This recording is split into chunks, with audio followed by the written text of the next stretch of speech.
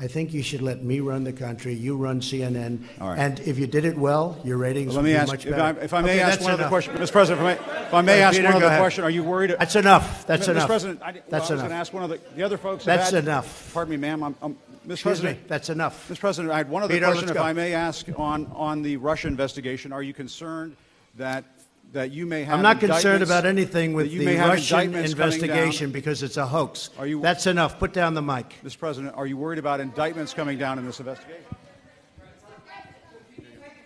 Mr. President, I'll tell you what, CNN should be ashamed of itself having you working for them. You are a rude, terrible person. You shouldn't be working for CNN.